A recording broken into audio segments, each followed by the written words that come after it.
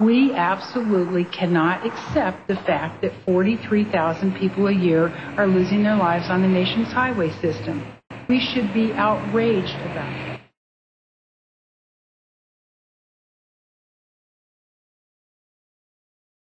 People violating red lights is a big concern in our community. We're looking for those intelligent traffic devices that can prevent those crashes.